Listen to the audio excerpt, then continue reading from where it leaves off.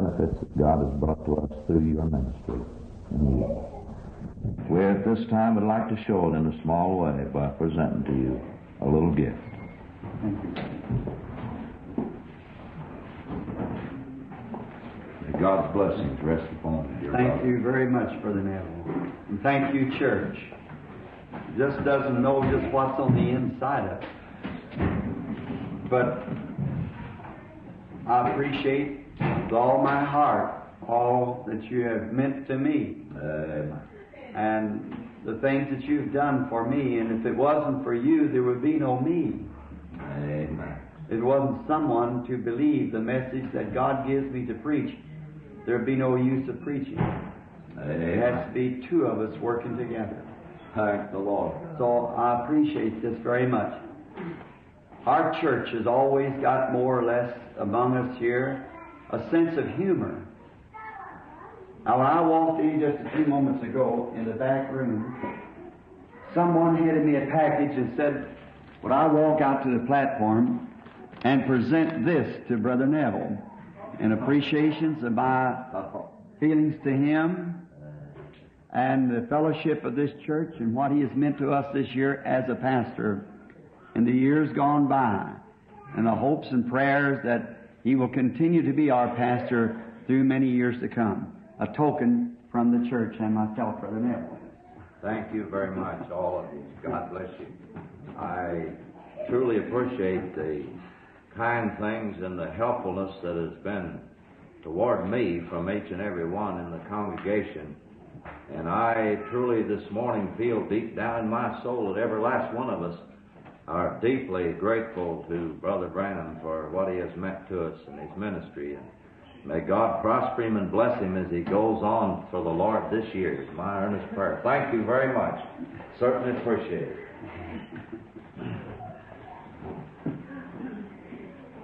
All right. The little children. All right, I think the little fellows now are to go to their That's right. their rooms. And now remember, be real good little girls and boys out there in the room this morning, or after the service, I think it looks like that there was something left here for you in treat. Yeah. Now to the adults, as you see our our population of young fellows are are quite a number. We are anxiously waiting until the time that we can have a new church where we can separate those classes. Our sister Arnold certainly has a, an armful, not a handful, but an armful. And my little girl was telling me, she said, Daddy, it's so hard on Sister Arnold. She said, because she'll be speaking to us in the language that we would understand, and then a little bitty tot will do something, and she'll have to stop and correct them for, you see. So it makes it hard on this one woman to have all this class. So we appreciate her and her, her fine cooperation to do what she can in this uh, time of need. The Lord bless her. Now we're hoping someday soon, the Lord willing, to have a nice big tabernacle where we'll have all kinds of Sunday school rooms for the classes. For the little babies with the flannel graph and have up over the pulpit, up this, a great glass faced nursery where a trained nurse will be there to take care of all the little ones. There'll be no interfering in the services at all. Walking or tramping around, his little fellows are restless and they don't understand. We have to understand them. They can't understand us. And so, then a place where everything will be just the way I believe the Lord would have us do it. Amen. Will not be fancy, but a, a nice church. We're looking forward to that. Now, for Brother Neville and myself, I've just drew an idea that these were suits of clothes. I don't know, Brother Neville. I, I think it is. I'm not sure because it looks like a suit box to me. Don't you feel the same way about it? And it's either suits or overcoats, and I, I, they both look the same. So it it goes to show there's no respected person here. and so I have an overcoat, and I know that they it's not an overcoat. So you, have one also, so it must be a suit. And it's just we just do appreciate this so Amen. much. And I am sure that as pastors, shepherds, the word pastor means a shepherd. one who shepherds the sheep. I'm sure that we are grateful to you, each and every one of you, because it was, it was your kindness and thoughts and money that made this gift possible to us this morning. And through God's grace, we are pledging ourselves to be your pastor, to do everything that we can to lead you in the right way. Maybe sometimes the way we speak and things, it may be hard to understand. But we're only doing it as guides, trying to guide you to that place that in the resurrection you'll appreciate us greatly then. For we have uh, consider not our own selves and making up when we speak to you, not of our own thoughts, but trying to do just as the Holy Spirit would lead us to do. And that's our been our endeavor, and we are still endeavoring to do the same thing. That is right for the pastor and myself. We're grateful to see the sunshine. Doc, my brother, was just saying, he sent word to Brother Frankie Weber in Florida, said, not the only one that can get out on Christmas and wash the windshield off of his car in his shirt sleeves. He was doing the same thing. So, um, well, you know, Florida gets tired the sunshine looking at Florida all the time, so it has to come up in Indiana and see how everything's getting along up here, don't you think so? So we're happy that it give us a visit at, at least for a few moments this morning. But above all things, we are thankful for the sunlight of God. Hallelujah. That gives us the shining of eternal blessed I wonder if the little lad that's just come in would want to sit with his parent, or there's a Sunday school class in the back, little fellow. If you'd like to go back there, Brother Taylor, would you direct the little gentleman to the class? That's fine. Sometimes they like to be with their own, you know. They they have things in common that they like to talk about, and it's just like that. The little twelve-year-old girl, as I've often said, if you see a little eight, nine, ten year old girl hanging around with grandma all the time. There's something wrong. See, they, there's something wrong because there's too much difference in their age. You can imagine grandma's got a sack of candy somewhere she can put her hand on. And little sisters, them big eyes are brightened up for the sack of candy. Because in common they would have nothing to talk about, nothing but just she could pet her and baby her. But that's the way it is, and we're glad that it's just that way. And then, I'm making that statement. I did it one time on the preaching of the lamb and the dove. You see, they have things in common. They can talk about things. The Masonic, Masonic Lodge, they have things to talk about. Brothers of the Masons Lodge. Brothers of the Oddfellows Lodge. Germans has things talk about to German, about the home place. When Germans meet each other over here, one just comes from the home place. Italians have things to talk about. And Christians has things to talk about. That's why we assemble in places like this, in heavenly places, in Christ Jesus, because we are citizens of the same country. We are pilgrims and strangers here to this world, so we love to gather together on these Sabbath mornings and prayer meeting times to assemble ourselves together because we have things in common. Amen. We like to talk about common, the uh, things in common that we love. The Lord, His doings. Someone in their heart burning with something the Lord healed them and just wants to present themselves up there and see what the Lord has done. Amen. Someone received a great blessing and just wants to go to the church to fellowship these blessings with someone else. See, that's why we have things in common. It seems to me that the acoustics is better in the church this morning. It seems to me, I'm not sure, there's such a rebound in here.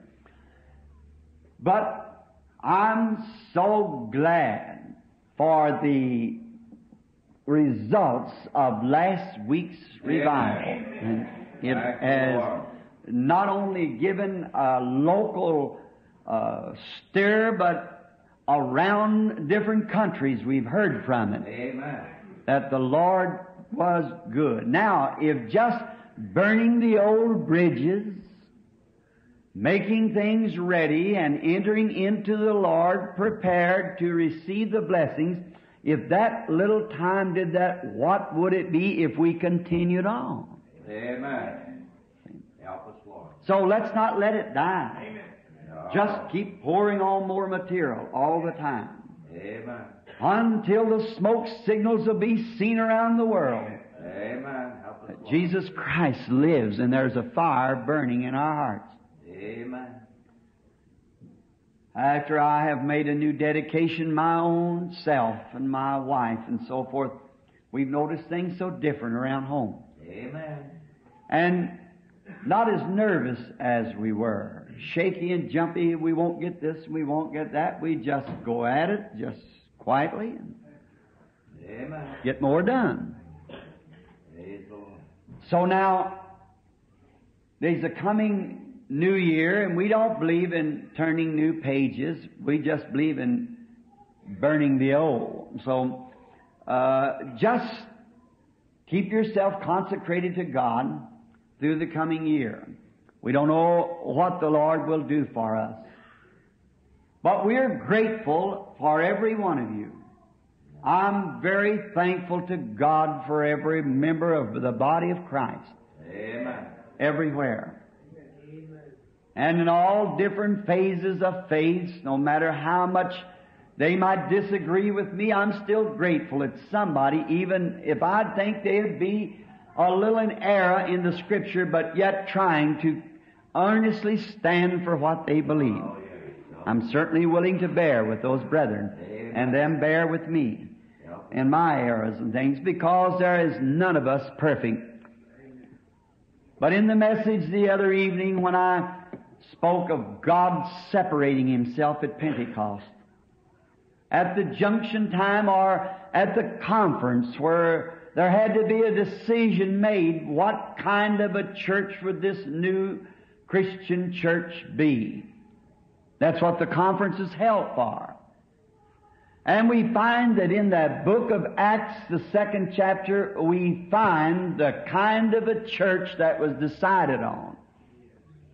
What type of church?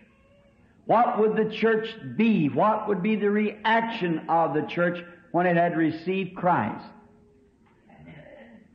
I love that. And I'm earnestly contending for that church that was once established on the day of Pentecost. Now, it was odd then, it's odd now, and it will, as long as there is sin in the earth and a battle to be fought, it'll be odd to our foes. Yes. But yet it's the precious things of God that we earnestly are contending that God will do for us. Now, the announcements, I guess Brother Neville has already made them.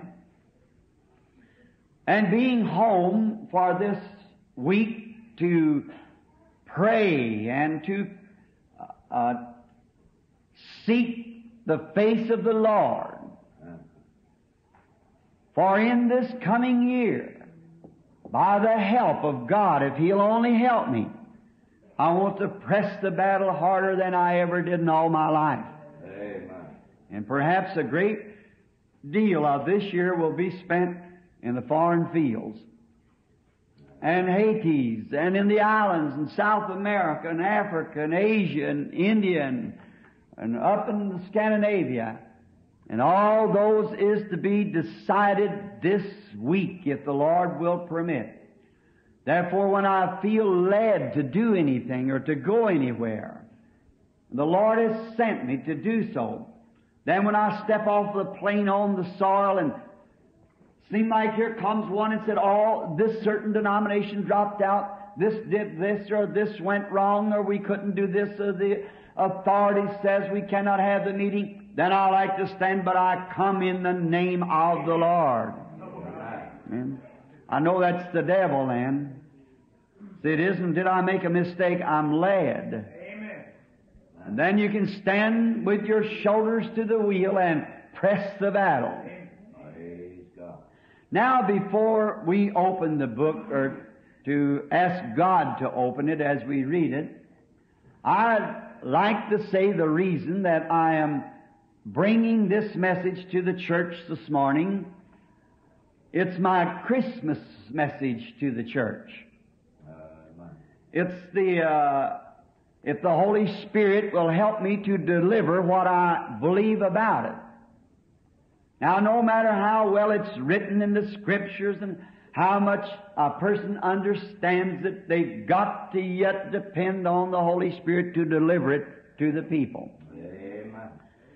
And it's just after Christmas when you've heard all the different Christmas stories and the the broadcast and so forth of the Christmas messages. This will be a little unique for a Christmas story. But yet, God has placed it up on my heart. And now let us bow our heads just a moment in His presence in the shadows of His justice to ask mercy. Oh God, our blessed Savior and Father, we are approaching Thy throne of mercy. In the name of the Lord Jesus, Thy Son, we are humbly presenting ourselves this morning to offer to Thee our prayers and our thanksgiving for all that You have did for us in this last week especially. How that hearts has hungered and the people has fasted and the Holy Spirit has blessed and has done great things in our midst. The sick has been healed and God has been made known that He lives and He loves His people and that the words are still so true of the prophet when he spoke the words of the Lord God, when he said, If the people that are called by my name shall assemble themselves together and pray, then I'll hear from heaven. Those words are just as true as the day they were first spoken. We found that so, Lord. Now forgive us, we pray, of all of our sins, all of our unbelief, which is sin. And we would pray, Lord, that you would restore to us that faith that once moved that first church. Not asking for flower beds of ease, but asking only for mercy of God and for His presence and His blessings to go with us. Whether it be in this field or field across the sea, whether it is on luxury or beds of ease or whether it is at the battlefront, no matter where it might be, Lord, your slightest will is our extreme desire Amen. to serve you. Just make it plain to us, O Lord, that we'll not miss the way. For we walk in a dark and blinded world amongst sinful, blinded people. So clear our way, Father, and lead us as you would sheep of your pasture. Let the shepherd of the flock sweetly and humbly lead his people as we wait upon thee this morning for the morning message. May the Holy Spirit speak plain to each heart. And may we catch the glimpse of what the prophet was speaking of. And in that then have the glorious blessings of the presence of God to confirm every word. We ask it in the name of Jesus, your Son, our Savior. Amen. Amen. I would ask our audience this morning, those with the Bibles, if they would desire to read with me the Scriptures or to follow me as I read, if you will turn to the book of Isaiah, the prophet Isaiah and the seventh chapter. I would like to read from the portion of this scripture. In Isaiah the seventh chapter, we will begin with the conversation of God to Ahaz at the tenth verse. Moreover, the Lord spake again unto Ahaz, saying, Ask thee a sign of the Lord thy God. Ask it either in the depth or in the heights above. But Ahaz said, I will not ask, neither will I tempt the Lord. And he said, Hear ye, O house of David, it is a small thing for you to weary man. But will you weary my God also? Therefore the Lord himself shall give you a sign. Behold, a virgin shall conceive and bear a son, and call his name Emmanuel. Butter and honey shall he eat, that he may know to refuse evil and choo- choose good. For before the child shall know to refuse evil or choose good, the land that thou inhabitest shall be forsaken of both kings. If I should say a subject out of this to draw context, I would like to use the word a super sign. When we have the darkest night, and it seems that in sometimes it's so dark in this night that we cannot even see our hands before us. It is at that time that the forked lightning shines the brightest. It's sent to us to show that there can be light in darkness. This was during the time of the reign of Ahaz, a wicked king, and if you notice the the Lord never addressed the message to Ahaz, but to the house of David. Hear, O house of David, this shall be a sign. Because there was in war, brethren against brethren, and it seemed to be the darkest hour of Israel's journeys and their pilgrimage. But God blasted forth through the prophet an eternal sign. Now, signs are many times people have signs and we live in a world full of signs.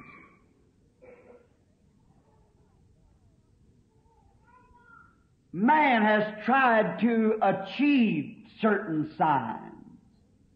Man has tried to his scientific research by his own achievement to make a sign that would be an outstanding or memorial of his intelligence, of how great he is, or what a mastermind he is. He's done that down through the years. For instance, when the Marine uh, intelligence saw the world, some less than a hundred years ago, decided that they were so smart that they could give to the world a, a sign of their cunning craft. That they could build themselves a ship. That there could not be a wave big enough to sink it. And they called this certain ship the Titanic. It was a lasting memorial to the world that the great art of shipbuilding had come to a perfection. That they could show to the world that this ship could not be sunk. So with all of this safety upon the intelligence of the builders and their speech and talks and scientific proofs that this ship could not be sunk.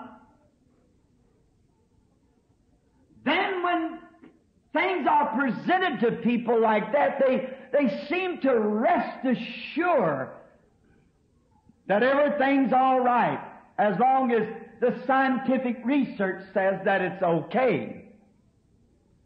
So they was crossing the ocean in this ship on its voyage and feeling so secure that there was nothing could harm them. They throwed a big drunken party.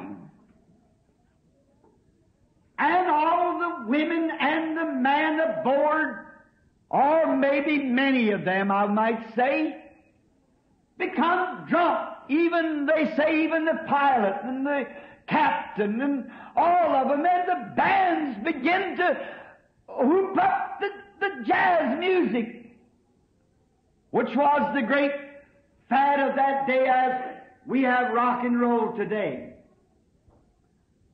Because they were safe. They were in a ship that man had given the world a sign of their intelligence that this ship could take any wave or any sea.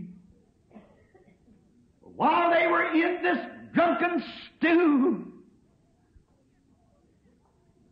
it headed towards the fog, and one of the captains said that we must check the engines, but the main authority said, give her straight ahead. We've got to be at the port for a certain cause. While she was plunging in the fog, like it was the master of the situation, all of a sudden she struck an ice gorge. And down beneath the water she went. And we are told by the poet who wrote the song, God with his mighty hand shows this world it cannot stand. Their great achievement went to the bottom of the sea with hundreds times hundreds of drunken people aboard. It just won't work. It was the late Adolf Hitler who gave to the German people a sign that he was a genius. He knew all about military life. And without discrediting him, he did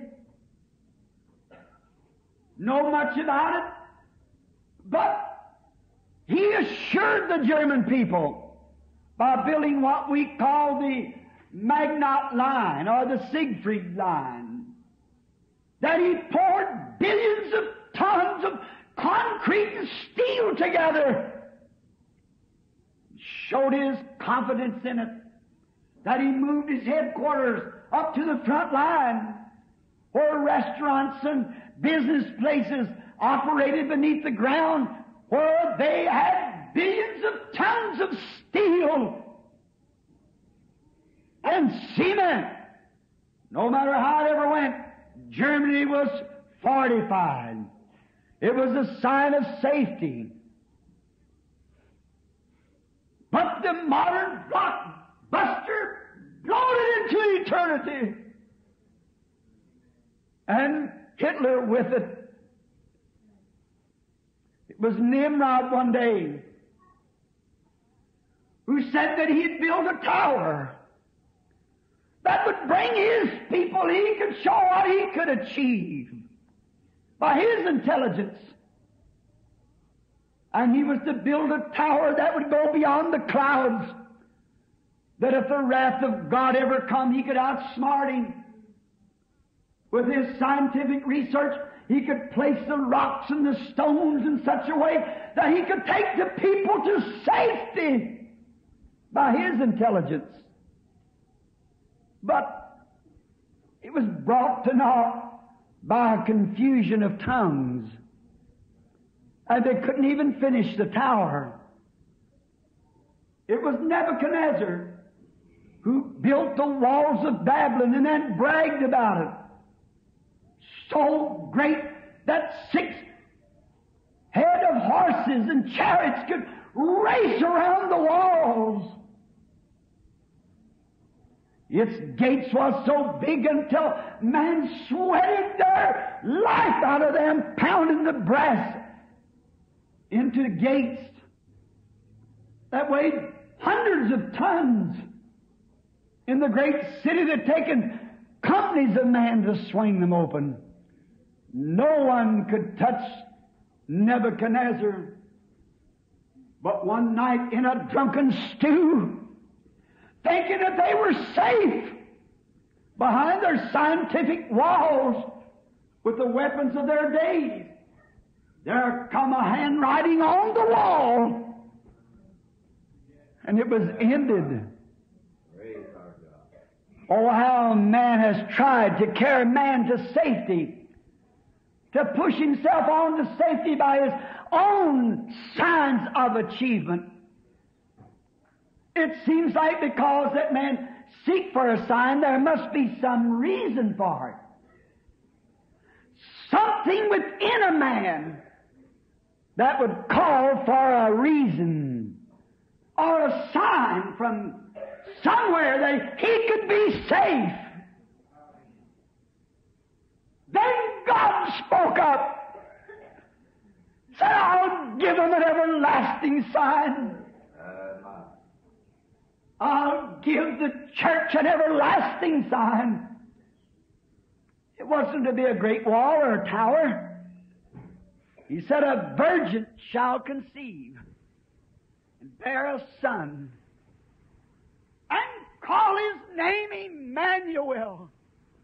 That will be God's eternal sign. How simple, how little. Do you understand that it's the little things that you pass over and omit that mean so much to God? Can the church conceive that this morning? And our achievement as organizations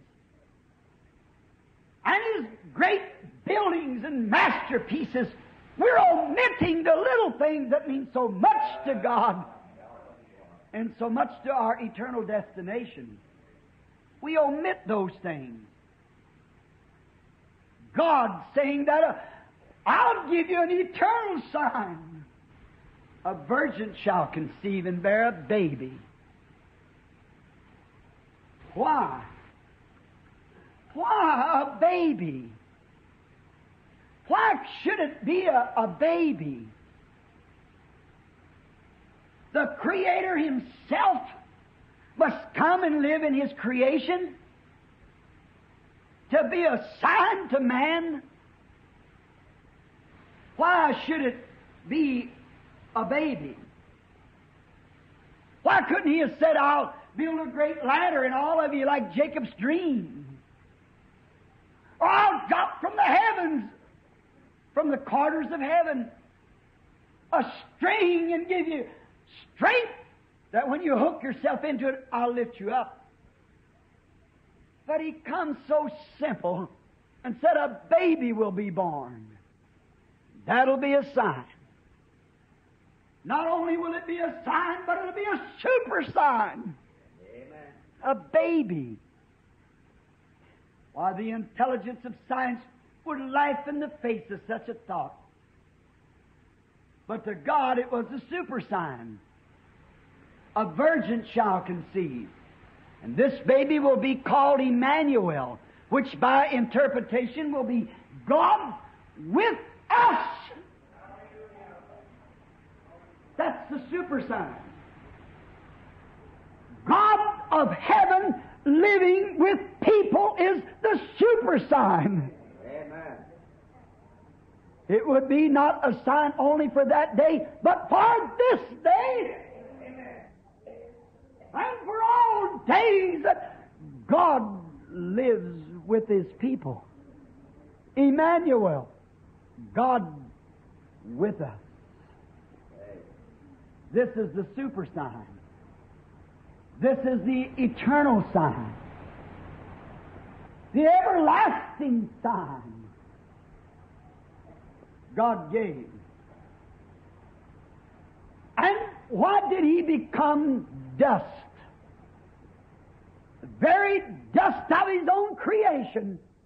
The Creator became that. Dust of his creation. Man trying to do big, big things. But when God gave a sign, it was a little thing. Man trying to deal with big affairs. God deals with small affairs. Man tries to say because everyone goes this way. Let us do like they do in Hollywood. God wants the minority. He wants the, to omit all the big things to receive the little ones. A baby will be born. Little Emmanuel will be born. God of the creation. Become part of His own creation. God, the creator of the heavens and earth, who made the dust and the trees and all the things that is, become part of them. That'll be a sign. He will come through the way by a human being.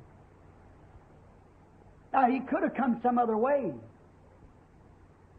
He could have come by the way of other of, of other ways he has of coming. But he chose to come this way to give a sign. The super sign. A virgin shall conceive and bear a son, and they'll call him Emmanuel. Now, what was it for? What reason? Why didn't he choose to become an angel? He could have done it. He could have come a, a full matured man. He could have become with a full salute from heaven, with the angels and all the beings of heaven lay down from the corners of heaven the golden ladder, and he could have climbed down with an angel band. He could have did it. But he said, I'll give you a sign, a super sign, an everlasting sign. A virgin shall conceive and bear a child. And when he had to select a place that this child would be born, he could have come down the ladder with all full heaven salute.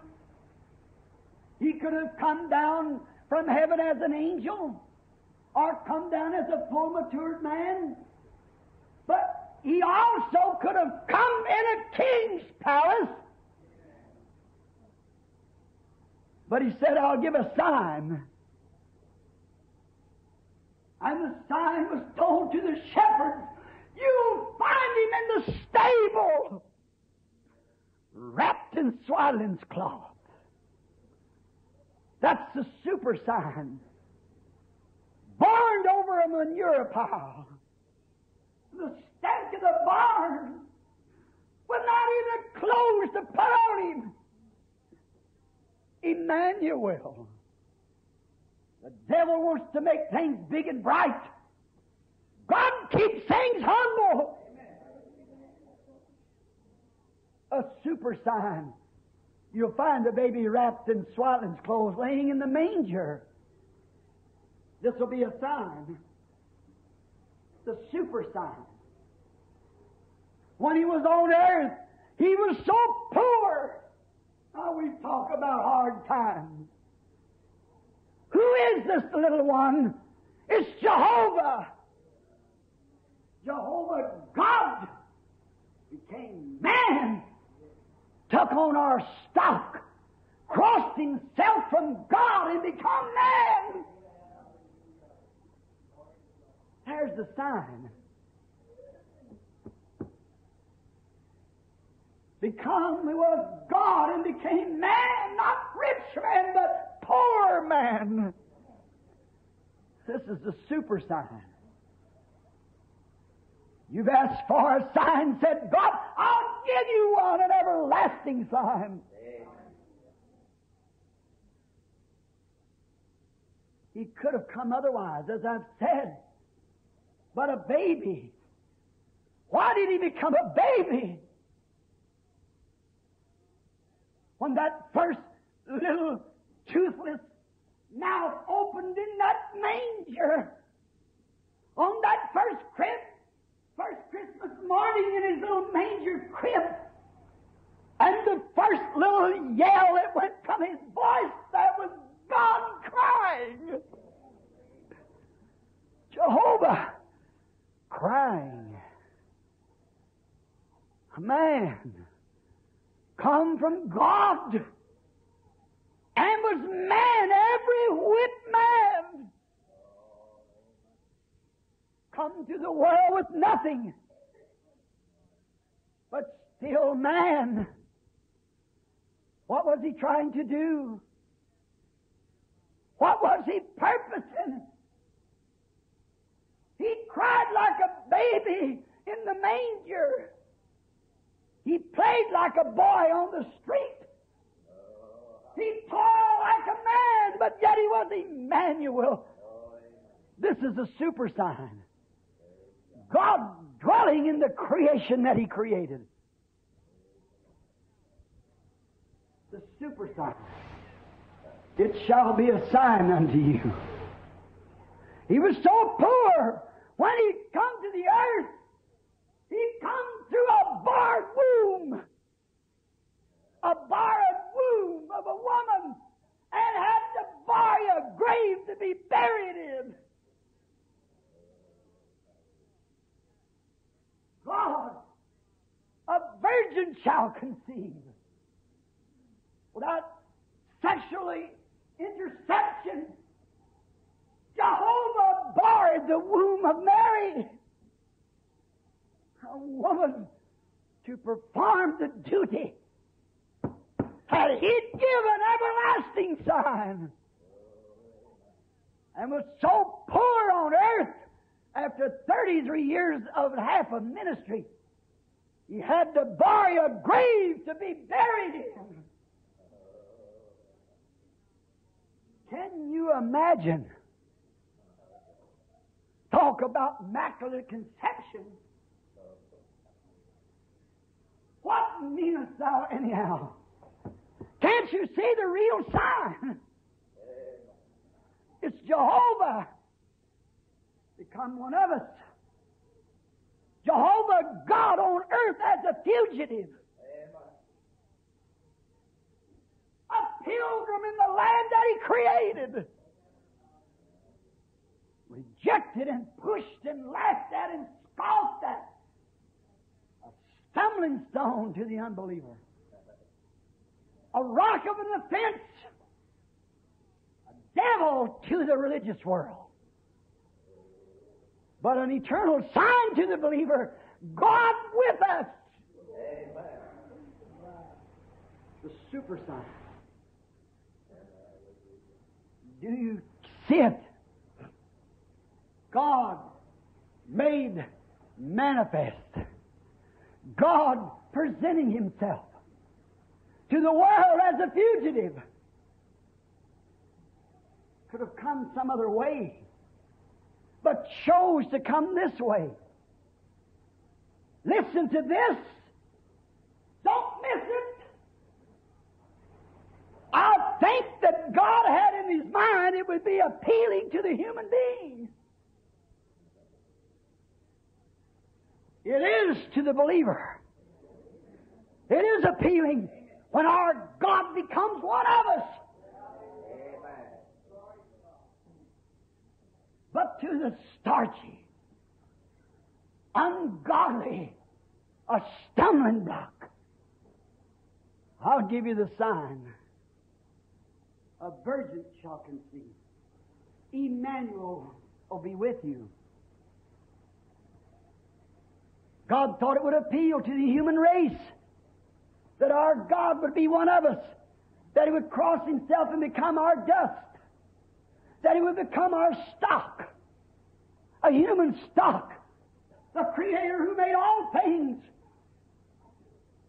And again, it fulfilled prophecy. The prophets had saw it. And another thing, the Word was made dust, flesh, and dwelt among us. The Jehovah, the Word, became human, became dust, and tabernacle with us. Everlasting sign shall never end. Oh, when we think of it, an eternal sign, the super signs of all signs, God becoming one of us. Then again, he must be the seed of Abraham. Abraham, of course, was the seed of Eve. Eve was the woman's seed that was to bruise the serpent's head. But Abraham, if you can catch it, he had faith in God which united the Spirit of God with the flesh of man. There's where the faith comes. That's why he could be the Abraham seed. Not all flesh, but the uniting of spirit and flesh together. God making himself, tearing out, rooting out all evil, bringing into submission the flesh, the dust that he created, and live with you as a, a partner. Another thing, he never defiled or contradicted any of his laws. He cannot do that. So, virgin, I'll give you a sign. Not a Titanic, not a UN, but I'll give you a sign of safety. Virgin shall conceive. And she shall bring forth a son and call him Emmanuel. That's the sign. Yes. You see, in God's laws of redemption, as it was with Boaz and Naomi, it had to be a near kinsman. And the only way that man could be redeemed, God had to become a kinsman. Near. I want you to see it. He never become kinfolks altogether to the rich, to the mighty, but he was born in the stable, wrapped in swaddling clothes. Not to the adult, but to the child. Was God over the creation. He chose to do it, not come a full matured man. He came that he might suffer the feelings of the little babies. He came that he might go through the teenage temptations. Might go that he could toil the toils and snares of the devil as a man and make a way for people of all ages, of all ages and of all classes, the poor, the rich, the all. He became poor that through his poverty we might become rich and heirs with him in the kingdom. A sign would be given. Crossing himself, making himself something different than what he was. Now, a super sign, crying as a baby, playing as a boy, toiling as a man. But it was God living all stages of life. like we do. You know, God has given many signs that He was God. He gave a sign to the antediluvian world that He was God, the God of judgment. He drowned the people in the days of Noah and floated the righteous in an ark. A sign that He was just and judgment was sure. That's a sign. That every unrepentant sinner will perish in the judgment. That the righteous shall be saved by the mercy of God. He gave another sign at the burning bush. What was it when he caught his runaway prophet? I have heard the cries of my people and I've remembered my covenant. He gave another sign there that he was a covenant keeping God. That he remembered everything that he said, every promise that he made. He gave a sign at the burning bush, and I've come down to deliver them. Watch God in his ways of work. When he created the heavens and earth, he called the angels together. And he said, Let us every place in the Scripture where he did anything mostly. Not me, but my Father. But when it come to the plan of redemption, he came alone. Nobody was with him. He's the only one that could come. An angel couldn't do it. Another man called his son couldn't do it. One called something else, a holy virgin or a holy mother or, or some saint couldn't do it. God had to come. Now I'll give you the sign. A virgin shall conceive. And a baby will be born, and he will be Emmanuel. God with us, a super sign. God in his people. God with his people. God become his people. God and man became one. A sign. A stumbling block to the world but a blessed hope for the believer. A sign that'll be evil spoken of. He had another time that he proved. He proved in the flood that he was a God of judgment and a God of mercy to those that keep his commandments. He showed at the burning bush by a sign that he would keep every promise that he made. And at the Red Sea, he showed that he'd make a way for those who were trying to do right and follow His commandments. No matter what cuts it off. God proved at the Red Sea and gave a sign that He could open up the sea. And every temptation, He'll make a way of escape. Say, Mother don't believe it, Daddy don't believe it, the church don't believe it, I don't care who don't believe it. If you believe it, God will make a way of escape. He gave a sign that He would. They were on their way straight to the promised land where God promised them, and the Red Sea shut them off. And they got in trouble. They didn't know what to do. God showed that He'd make a way of escape.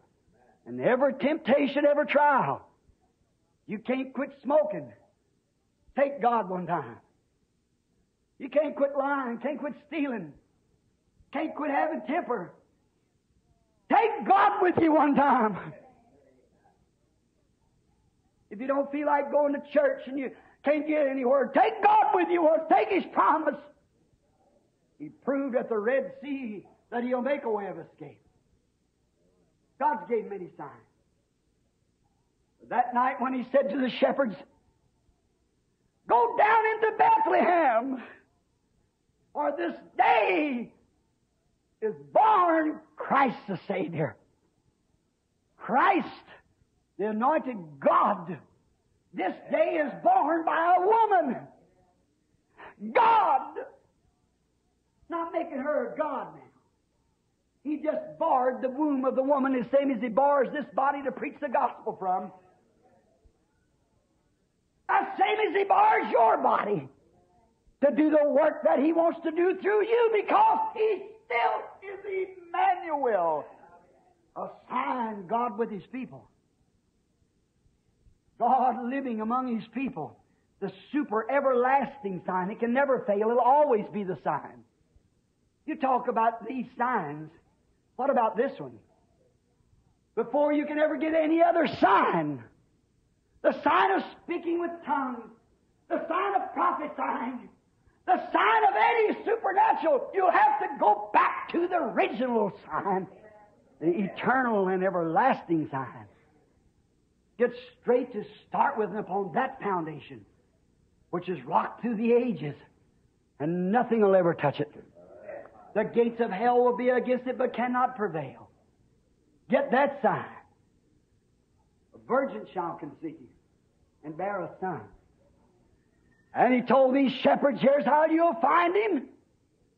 He'll be in a manger in a barn, wrapped in swaddling cloth.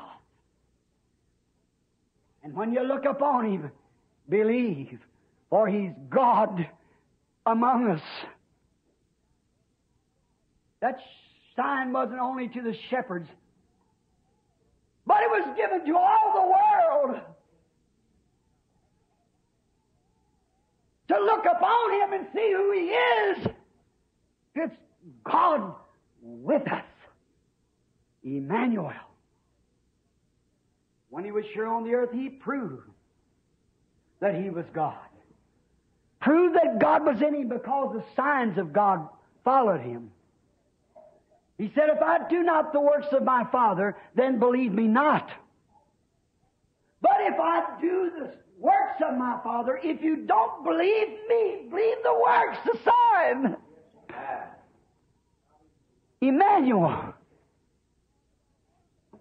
I and my Father are one. My Father sent me, and as He sends me, so send I you. The Father was sent me is with me. He's in me and doing the works of Himself as God in flesh. Amen. Didn't Lot get a taste of that before the destruction? When he seen God manifested in flesh, eating a calf, drinking the milk of a cow, eating bread off the hearth, and stood with his back turned to the tent, and with the personal pronoun I. I, seeing that Abraham is the heir of the world, I. In other words, I'll make it known to him. Who was he? Then he said, Abraham, where is your wife Sarah? It shocked him. God, in a prefigure of Christ, made flesh. Said she's in the tent behind you. Sarah laughed and he said, Why did Sarah laugh? When Emmanuel become through the womb of a woman, instead of appearing as a theophany, he said, as it was in the days of Lot, so will it be in the coming of the Son of Man. When he was on earth, those apostles went forth with the gospel. That even the angels looked over the banisters of heaven, the corners of the glory land, to look into it. You who are putting down scripture, as I see you writing, 1 Timothy 3.16, without controversy, great is the mystery of godliness, for God was manifested in the flesh, believed on in the world, seen of angels. The angels raised over to take a look at God. Once waved their wands before him, crying, Holy, holy, holy, when he was sitting there as a pillar of fire the glories of heaven, and when he become man, angels come and looked over to see him. Jehovah made flesh. Sure, without controversy, great is the mystery of godliness. I'll give you an everlasting sign, for God was made flesh among us. He dwelt in flesh. It'll be an everlasting sign. Not only to the shepherds to look and believe, but for you, the Branham Tabernacle and for this cruel world to believe that that is God. God gave that sign. Jesus said, As the living Father has sent me and come with me and was in me, so send I you. The living Father to go with you and be in you. An everlasting sign. These signs shall follow them that believe. Lo, I'll be with you, even in you, to the end of the earth. I'll be with you. The end of the world. I'll be there with you. Someone, as I have said before, wants to make him a little short God.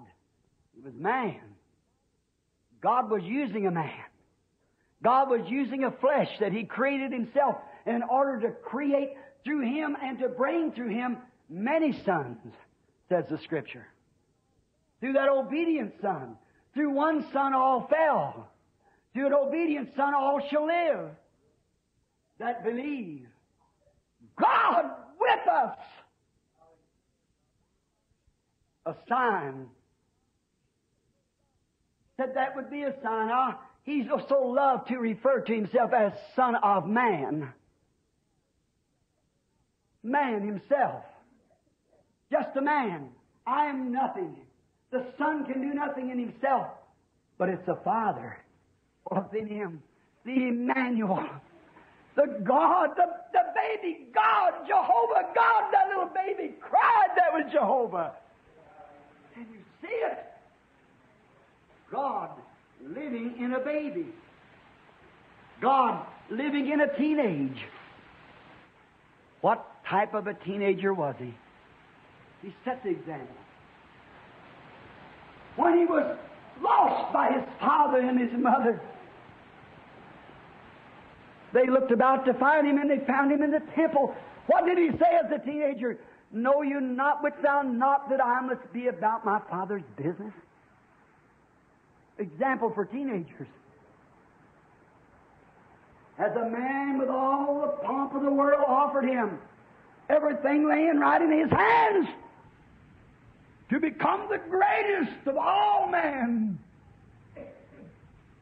the richest of all men who could tell people where fish had coins in their mouth, could pump the best water out of the wells and turn it into wine. That could change anything that he wished to change. That could take five biscuits and feed five thousand. With the power in his hands to become a great man, but still chose to be poor. Didn't even have a grave when he died. He had to borrow one. Emmanuel, this will be a sign. How does God come? In the poor. How does God deal? It'll be an everlasting sign with the poor, the uneducated. A sign said the great prophetess Anne when Simeon raised his hands at the temple and that, holding that little one in a swaddling cloth. Anne says it's a sign that'll be evil spoken of. For the fall of Israel, but the gathering together again too. Alike to the Gentiles. What? God with us. Not in the rich and the haughty, but in the poor. Born in a stable. God with us. What kind of things did he do? Watch his things he said. Watch him what he said, for God himself said, This is my beloved Son, hear ye him. This is my Son who I'm pleased to dwell in, hear ye him. He said, I'll be with you always, even to the end. He sent forth his apostles. They burnt the earth up in their days. As God being one with man. They baptized the people in the name of that God, Jesus Christ. They lived so close to Him till He manifested Himself through them through signs and wonders and gifts of the Holy Spirit. God with us. They preached there was one true and living God. Man has built all kinds of towers on three or four gods or two gods, but there's one God. That message was to be revived in the last days. Better get your thinking on now. Open up your hearts. Ask God to reveal this to you what I'm fixing to say. When He come, He fulfill what the prophet said. And when He's coming in the last days and the latter rains of God, when both former and latter rain will be poured out, He's coming just exactly the way it was prophesied of Him. It shall be light in the evening time. What was to happen? Emmanuel, the same Son, the same light, the same God that come to dwell in flesh with his people at the day of Pentecost will come in the like manner in the last days, for it shall be evening light. What is it? There shall be a sign, an everlasting sign. God with us. God in us. God through us. Man and God becomes one. Jesus died that He gave that precious life on His decision in last Sunday's message because He gave it for a decision that He might bring many sons to God. Emmanuel with us. The evening light people, it would attract them. When God gave the sign, this will be a sign God will be dwelling in flesh. He thought that would attract the people. It did. Or as many as received him, to them gave he the power to become sons of God and it's supposed to attract the evening light people when that same light shows. God and Christ are one. Peter said, Let it be known unto you that God's made this same Jesus whom you crucified, both Lord and Christ. A sign evil spoken of. But the evening lights is here. As the late minister of the gospel when the Pentecostal message first started falling. The late Dr. Haywood, just before he, I guess maybe when he was in his best, one day when the Spirit struck him, he was a poet besides a preacher. He grabbed his pen and penned it. It shall be light in the evening time. The path of glory you will surely find. In the waterway is the light today, buried in the precious name of Jesus. Young and old, repent of all your sins, and the Holy Ghost will surely enter in. Or the evening lights have come. It is a fact that God and Christ are one. The evening lights. If we are walking in the evening light, the evening sun, then it was to be the same light and same sign, an eternal sign. Then the same signs will follow the evening light. Do you see it? Can you understand it? That's the message this Christmas. The evening lights the signs of the Messiah accompanying, accompanying the message. The evening lights are here. Amen. It's evil spoke of. They'll turn you down. Your brethren. Who turned him down? His brethren. They loved to see him perform the miracles. But when it come to Calvary, where were they all at?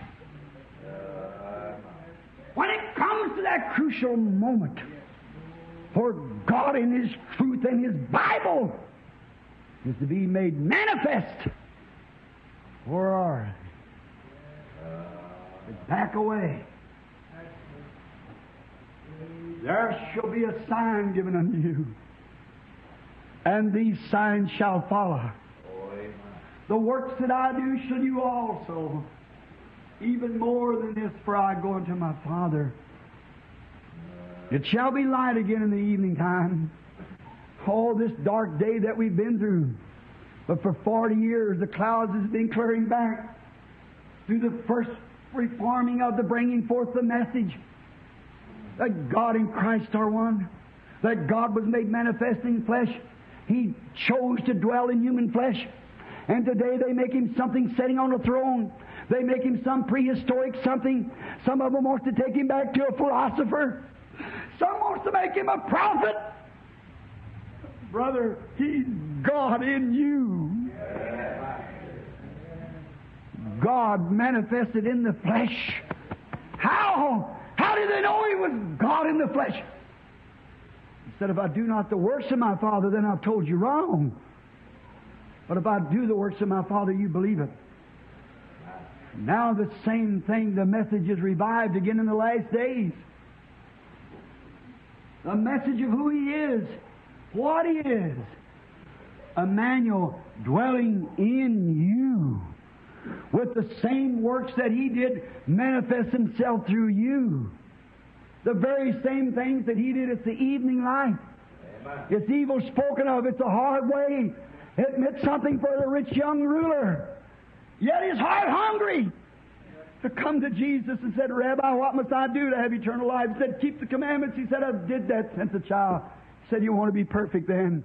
He said, follow me. But he went away sorrowful. It was too much of a prize. If he could have given him some money and built a big church somewhere, put himself a member, he'd easily done it. Don't you see how that's patterned today amongst the rich? There were others, not only rich but poor. Many of them from the slime pits and so forth. They refused because of popularity.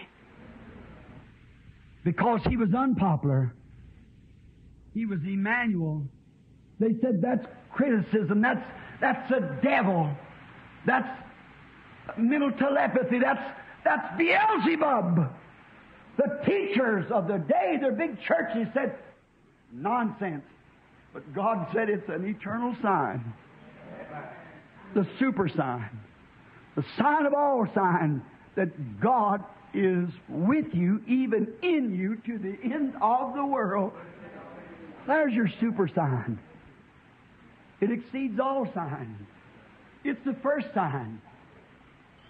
In Acts 19, those people had to come back and recognize that sign before they could ever receive the Holy Ghost.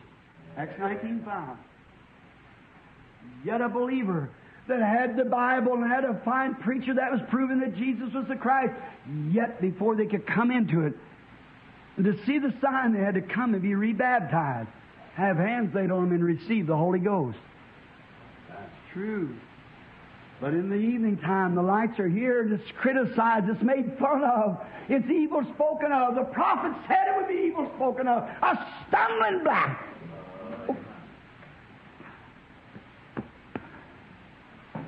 Evil spoken of, made fun of, criticized. Emmanuel in us, working His will through us. Oh, today, my pilgrim brother, my sister, believe that sign. Look into the manger of your own heart and see if you're able. Say within yourself, see the sign that the shepherd seen. God in flesh, dwelling amongst the poor, the needy, the offcast. See if you can understand it. God in your heart. God in your watch and see if He manifests Himself right in sweetness and meekness as He did. A few years ago, there was a girl who went off to college. And with a lot of her colleagues there, she become a very little smart aleck from her old country teaching that she'd had as a mother in a country home. And one day she decided some two years later to visit her mother again. She wrote her a telegram and told her she would arrive on such and such a train to meet her at the station. However, she brought another little smart aleck with her, and she'd become a smart aleck herself. And she brought another one with her that was kind of one of the modern day sophistications. Know it all, Tiani. And when she arrived at the station, when she started to get off of the train, she looked and there stood her mother, looking with all that was in her to see where her daughter was. And when the girl that was with her mother saw her with her face all scarred and her hands all burned, and she looked terrible, old, and looked horrible. And the girl that was with the little Mary said to her, Wonder who that old wretched looking thing is. And the girl was ashamed of her mother. She said, I don't know. I don't know who she is. And her mother, when she seen her daughter, run to her and threw her arms around her and started kissing her. She pushed away and said, I don't know you. You've got the wrong person because she didn't want to be affiliated with such a person that someone else would laugh at and make fun of. There happened to be a man, a conductor of the train, standing by. He grabbed that young woman by the shoulder. He said, Shame on you, you miserable thing. I remember the case very well. And the people gathered to hear what had taken place. And he helped the girl right out. And he said, This young girl, when she wasn't six months old, was in her little crib in the upstairs. And her precious mother, the most beautiful woman I ever saw, said the old conductor. Said the house caught fire while her mother was hanging clothes. And the neighbors all run screaming. They'd seen it, the mother never noticed it. It was on the porch side of the house. And the blazes had got well a hold and it was gone into the air. And said they couldn't hold that frantic mother. Her baby was upstairs and said, all of them cried, You can't pierce those, those blazes. But she grabbed the sheet that was in her hand from hanging them up, and it was a wet sheet. And she threw it around her, and through the blazes she went and upstairs, not thinking about her own danger. Then when she got there, she knew she couldn't wrap the sheet around herself to go back. But to save the beauty of her daughter that was to follow her, she wrapped the baby in the sheet and run to the blazes with her bare face and hands and arms. And it burnt the meat off of her body and shrunk her cheeks to her bones and marred her, burnt her hair off and the, the, all to the bones on her finger.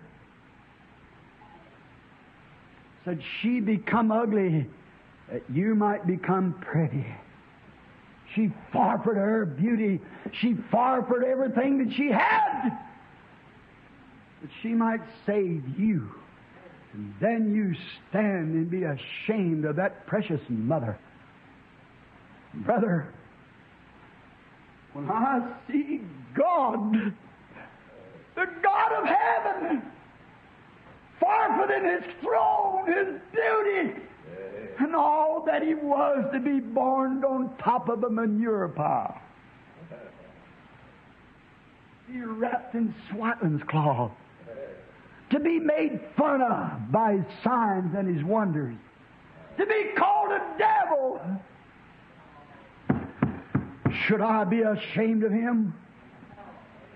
No, sir. Let the classic world do what they want to do. To me, he's a super sign. The Holy Ghost in me screams out. It might make me act funny and be a crazy man to this world.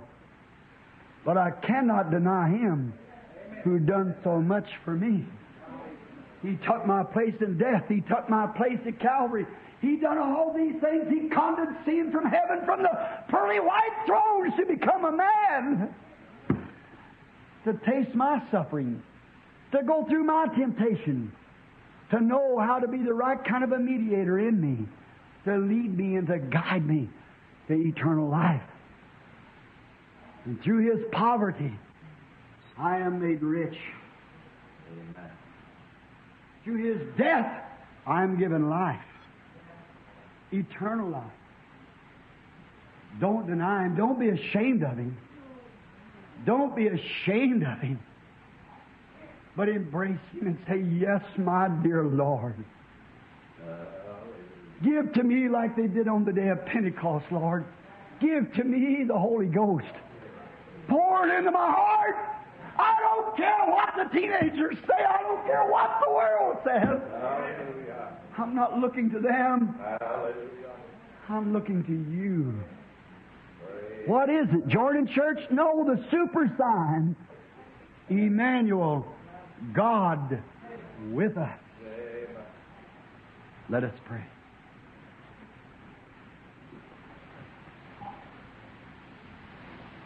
In the audience of the people this morning, is there some here that would like to say, To me, I'm ashamed of my life. I'm not ashamed of Him.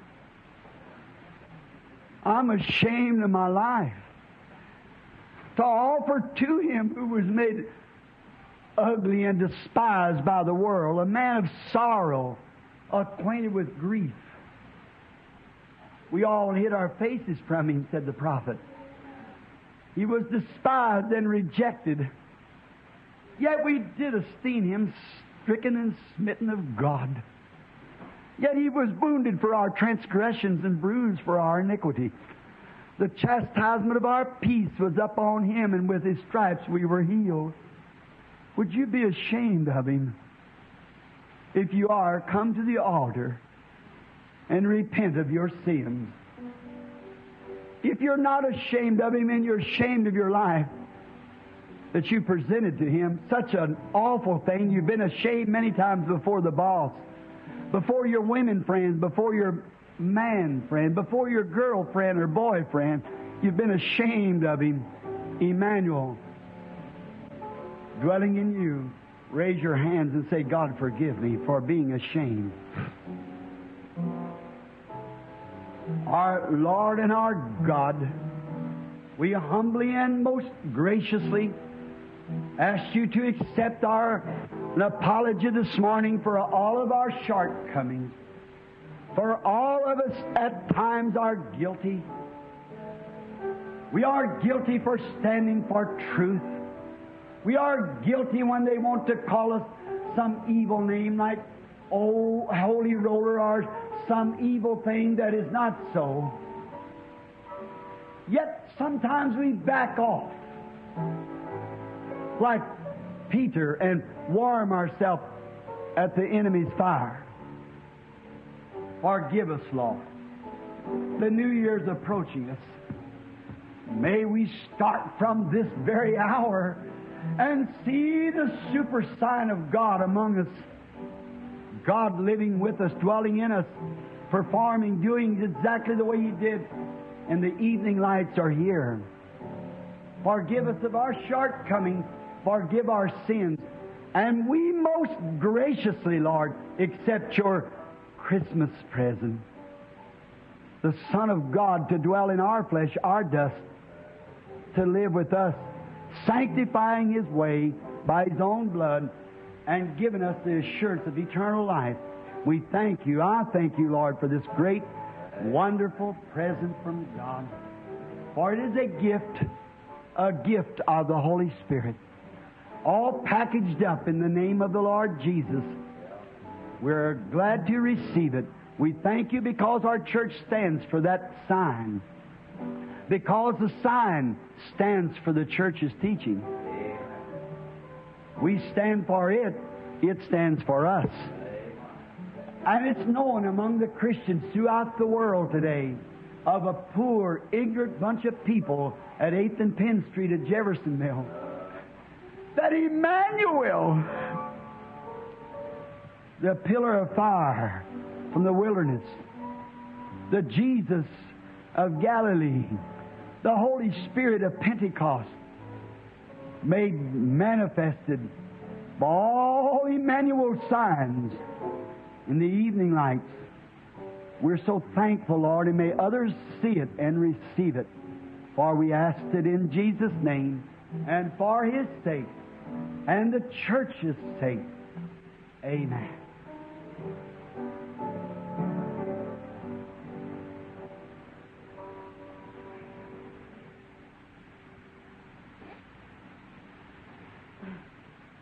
I wished I had the voice of a singer.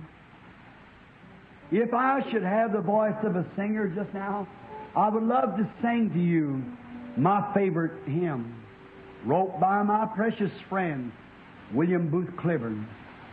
Down from his glory, the ever living story, my God and Savior came, and Jesus was his name. Born in a manger, to his own a stranger, the God of sorrow, tears, and agony. Oh, how I love him. How I adore him. My life, my sunshine, my all in all. The great Creator became my Savior. And all God's fullness dwelleth in him.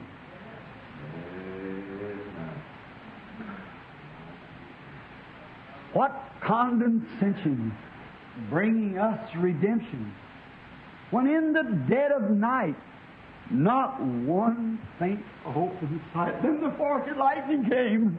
Amen. God, precious tender, laid aside his splendor, stooping to a manger, a stable full of manure to be born in, stooping to woo, to win, and save my soul. Oh, how I love him. How I adore him. My breath, my sunshine, my all in all. Hallelujah. The great Creator became my Savior. And all God's fullness dwelleth in Him. And then He is in me. And I am in Him and in you. That day you'll know that I'm in the Father, the Father in me, and I in you, and you in me. God, Emmanuel, with us. It was that Emmanuel that seen George Wright sitting down there just now, laying there dying when four doctors passed him. It was that Emmanuel. When he had to bar a womb, when he had to bar a, a grave, he barred my eyes. Said, Go tell Brother George, thus saith the Lord. He'll dig the grave of those preachers and things that's laughing at him. It was that Emmanuel. Was that same one about the little animals the other day in the woods. Is the same one about Margie Morgan sitting there. Oh, the rest is the same one who barred the mental faculties, the senses of the body, to present himself to the world today through you while the evening lights are shining. God be merciful for him. I'm taking so much of your time. Let's try it. Give us a chord, oh hallelujah. How many know it? Oh, how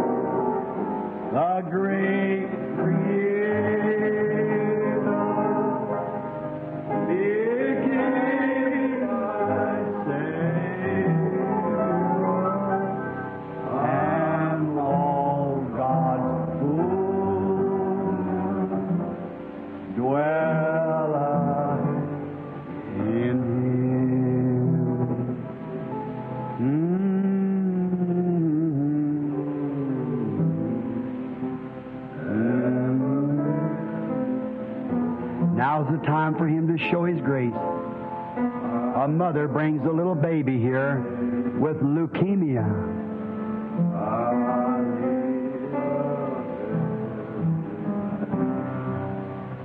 Cancer in his bloodstream. That evil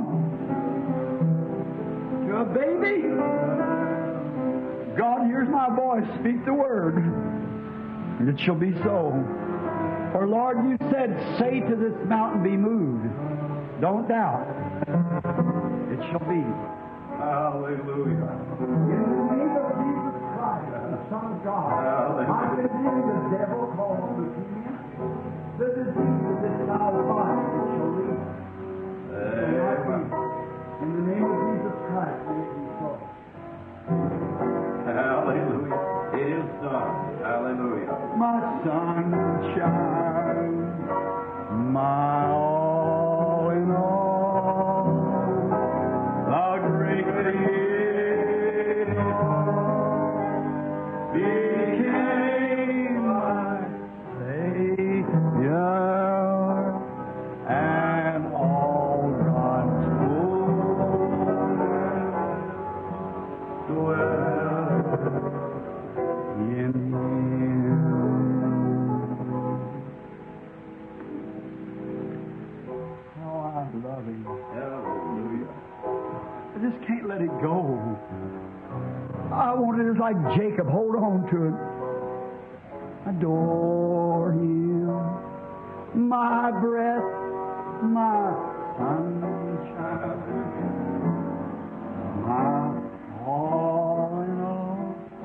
shall be a sign.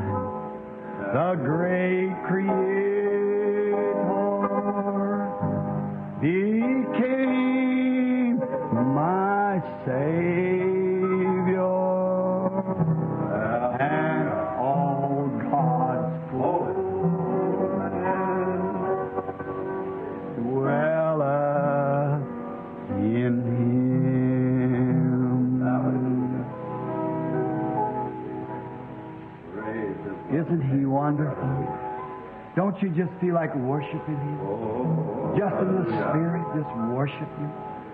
Mm. Just forget yourself now. Don't be ashamed. The Holy Spirit's here. That's the Holy Spirit.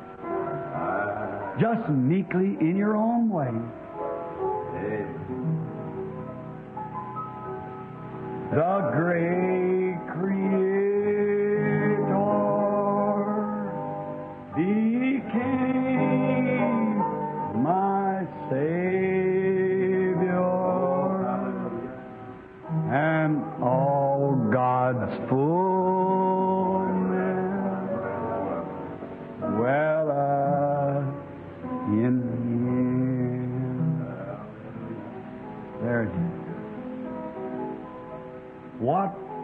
condescension bringing us redemption. This shall be a sign when in the dead of night not one faint hope in sight.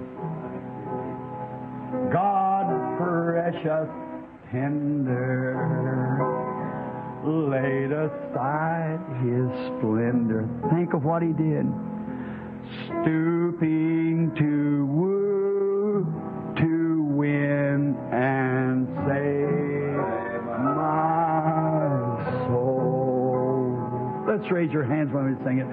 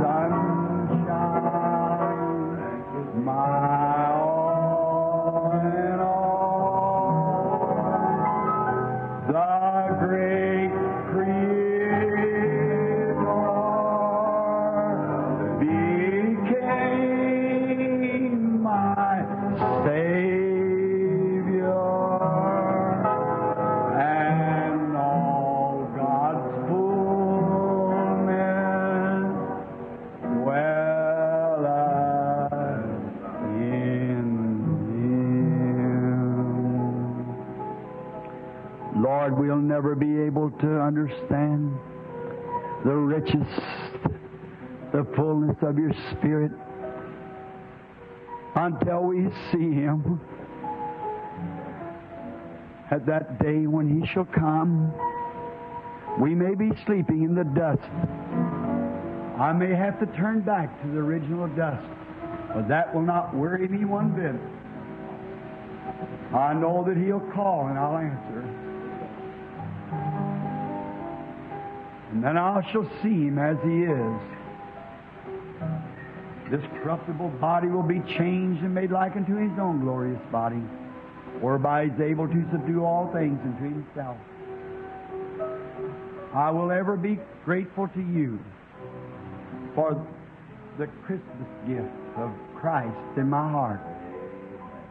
To know that it's the same Christ because He does the same thing.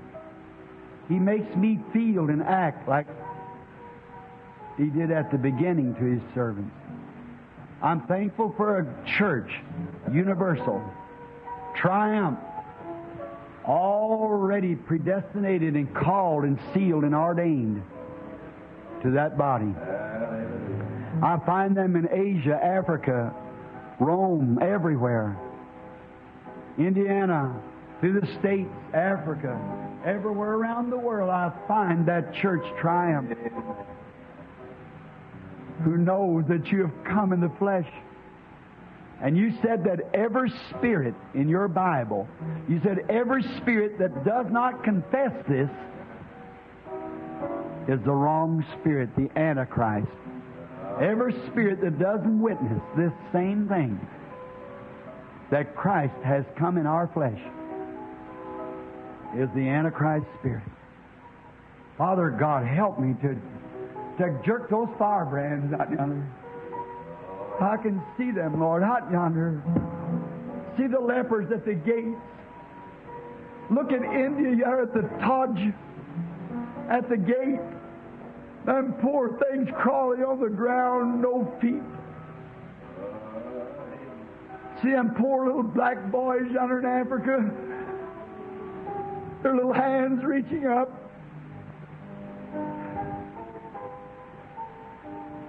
Oh God, send me, Lord. Let the angel come with a coal of fire. Burn into my soul, Lord, and take all the dross and sluggishness out. That I might go as a, a firebrand of God to pluck from the fire those who are in gross darkness. Bless my little church, Lord. Oh, I can see the little sawdust trail down through here and see the precious people, people driving by in their cars, laughing at them because they've got their hands up, praising God. But someday Jesus will come and all things will be made right. We won't be ashamed, Lord. We'll join with Paul of old and say, I'm not ashamed of the gospel of Jesus Christ, for it's the power of God, the salvation, the eternal life to everyone that believes. Help us to live that way, Father. We're worshiping you now in the Spirit in heavenly places. We thank you for this visitation this morning. In Jesus' name, amen. Just once more, will you? Oh,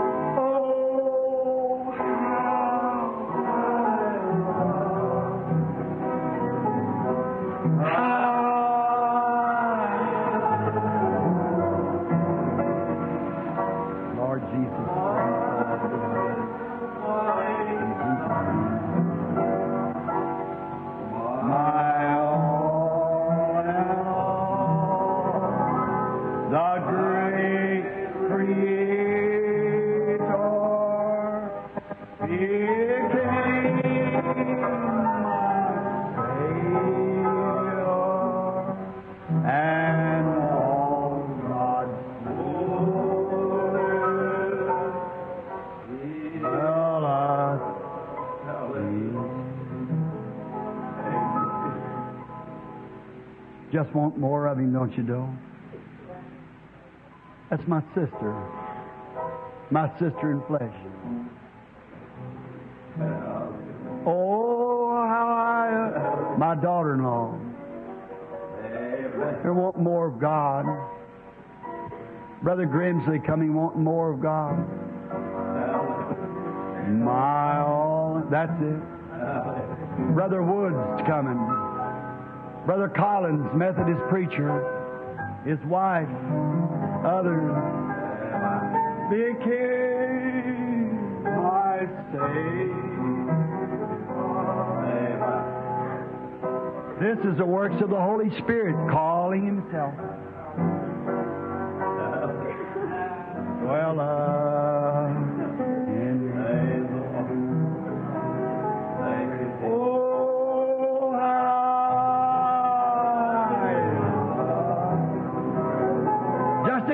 it in your own way now. How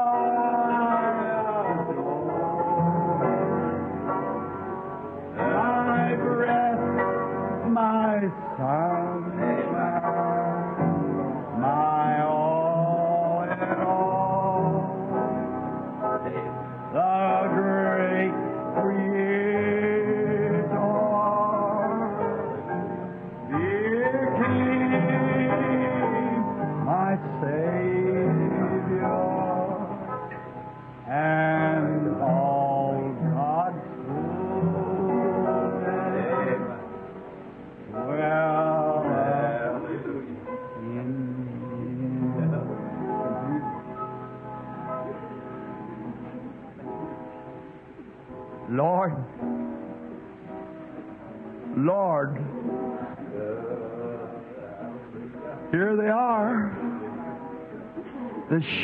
of your pasture.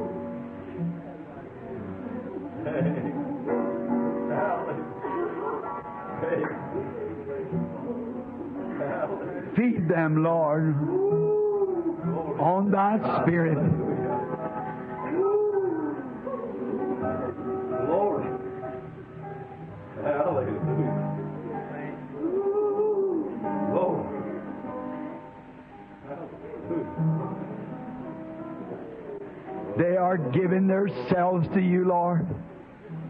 They are consecrating their lives to Thee. They stood because they're not ashamed of the gospel of Jesus Christ. We know that you're here, the great pillar of fire, the Christ, the Holy Ghost.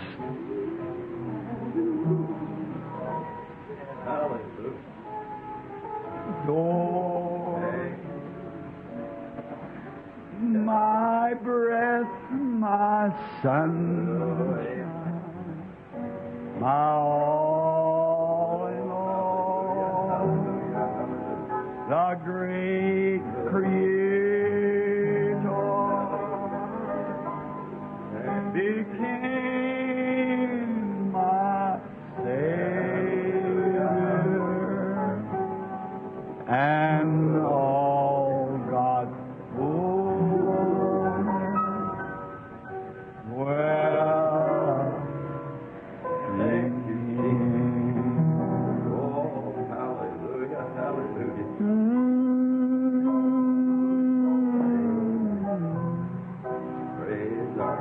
Just speak in your own words now. That's the Holy Spirit that brought you here. Just tell Him you love Him. Same Holy Spirit that raised Him up on Pentecost. You stand here crying, weeping, rejoicing. The great Creator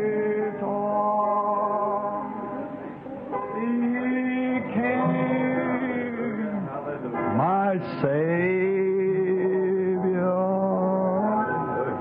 and all God's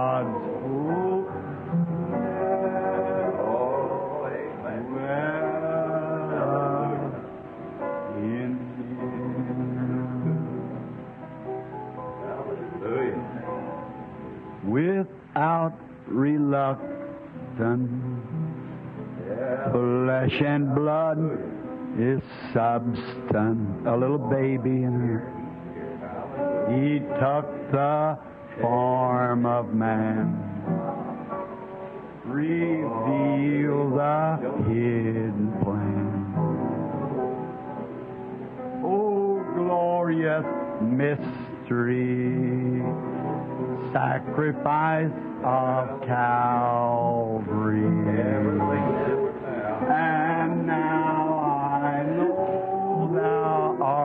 That great I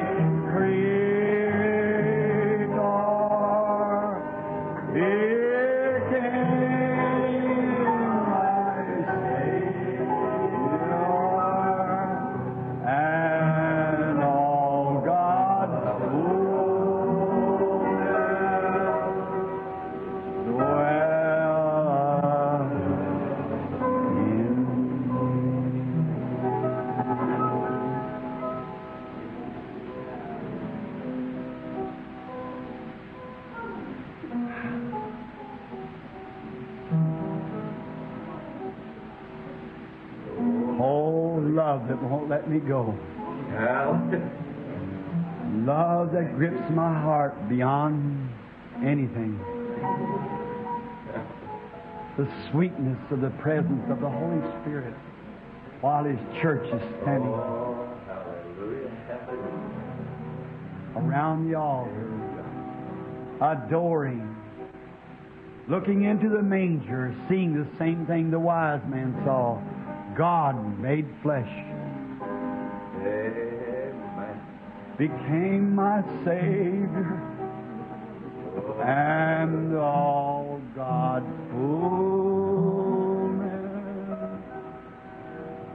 dwelleth in me. Hallelujah. If there's anything wrong in your life, confess it now in the presence of the Holy Spirit. While quietly, his name. Hallelujah. Hallelujah. Hallelujah. Mm-hmm. Oh, glory. hallelujah. Hallelujah. Glory.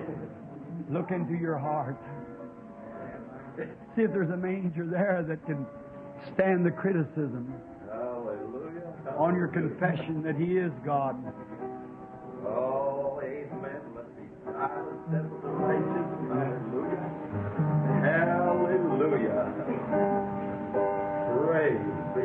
to. Hallelujah. Oh, God's fullness dwelleth in me.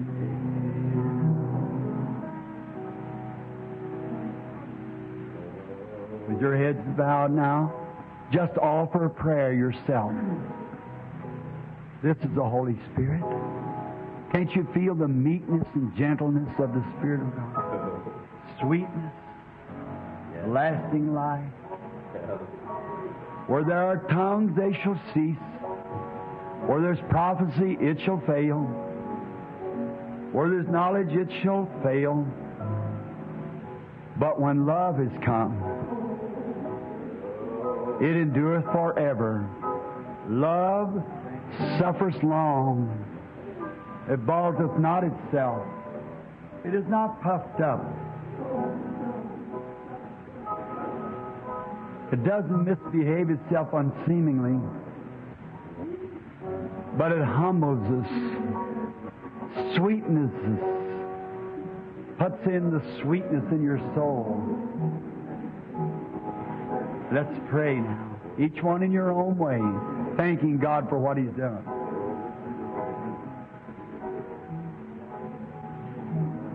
Oh Lord,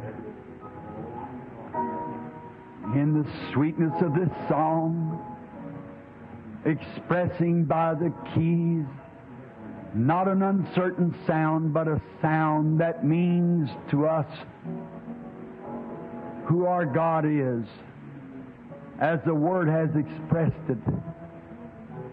Now the music expresses it. Now our hearts express it, Lord. Our attitudes toward you, we come forward. They stand to their feet. They love you. Together, Lord, we stand as your sheep, the sheep of your pastor. We love this food. It's good for our souls. And we know that God lives with us. We know that God was emptied into Christ, and Christ was emptied into the church. And here we stand today when all kinds of religions and all kinds of, of denominations and phases, all kinds of beliefs, but yet the Word speaking for itself. God manifested the super sign that God is still manifested in the flesh of His people, doing the same signs and wonders, appearing in a form of a cloud, a pillar, dwelling among us, discerning our hearts, foretelling us things to come, healing our sickness, making us so heaven bound that we become beside ourselves till we do things strange to the children of the world. How they stand by and laugh and think that we are crazy, just as they did at Pentecost and are not all these drunk. But how I love him. How I adore him. My breath, my sunshine, my all in all. The great Creator, dear King, my Savior, and all God's fullness dwelleth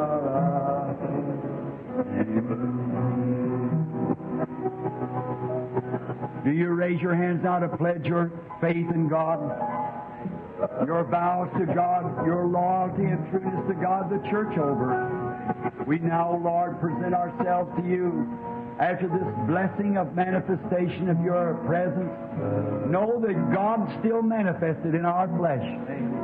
He became our dust. He became our stock. He crossed himself from God to become man, that man might live in him. And we feel you this morning in our spirits. We see your works and your manifestations. We love you. We pledge ourselves anew to you, to honor you, to love you, and to do everything that we know how to do that would be pleasing, to live lives that would be like Christians, that would bring no reproach, but would be a blessing to your great holy name. This we do, Lord, as your children, in the name of Jesus Christ. Amen. Amen.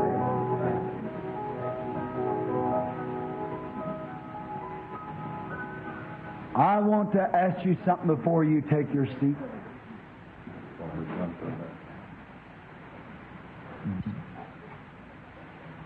Did you ever feel such a sweet thing? The sweetness of the Holy Spirit, nobody to say a word, just automatically rising, coming forward. The glory of God. I've been praying and studying two days on this, more than that since last Sunday. Or last, yes, Sunday. How did that super? How God said, I'll give him a sign. I'll be in their flesh. I'll be like them. They'll be like me. He said the angels look over, or the angel said to the shepherds, look into the manger, you'll see what I mean. That sign wasn't just for angels. It wasn't just for shepherds.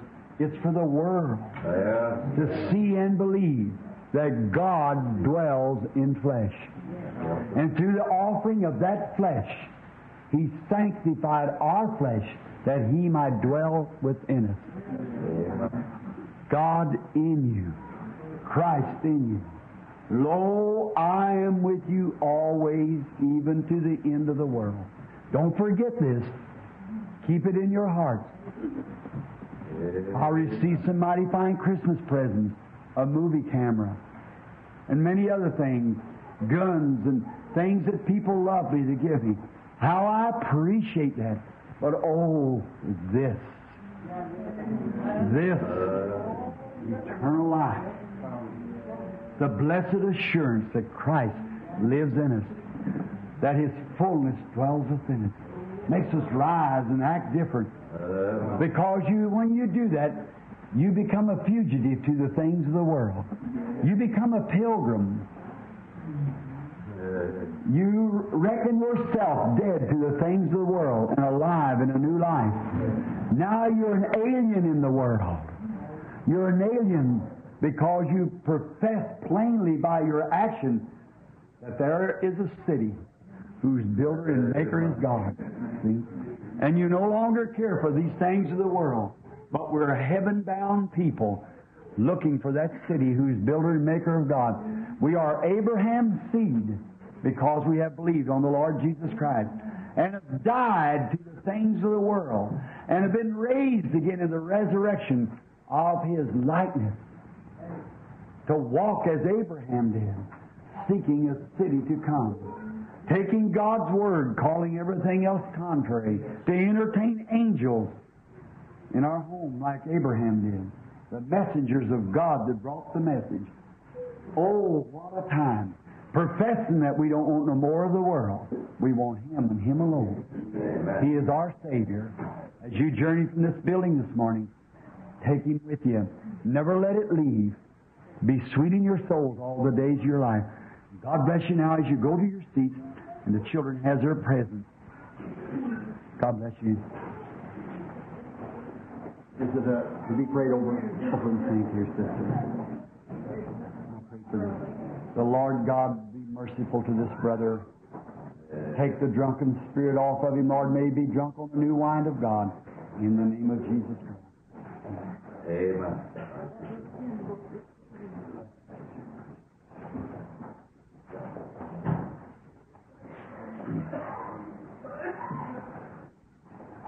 Isn't this just heavenly? Amen. How many feels that? Just this, just a sweetness. Nobody knows what to say. I don't know nothing to say. I'm just, I'm, I'm baffled for words. I, I don't know what to say. Just His Spirit just moved in. See, what is it? You are becoming lambs. And the dove is here to lead you to lamb's food. Amen. Sheep food. This is sheep food. Man shall not live by bread alone, but by every word that proceeds from the mouth of God. Our spirits live on that. I think now I'm to see my good friend Attorney Robinson. If he'll just wait at the building long enough, I can change my clothes, get back, cause I'm sweaty. Brother Neville take the service over now for the uh, for the gifts for the children. The Lord bless you always saying down from His glory. When you do that, remember what we believe in Him. All God's fullness dwelleth in Him. God bless you, Brother Neville. Yeah, if you want me to. Yes. Brother Neville asked me if I'd come back tonight again to preach tonight again. I hate to take his service, but I'm here. That's what I'm here for. Okay, I'll be back tonight, and the Lord willing, speak on the service. Amen.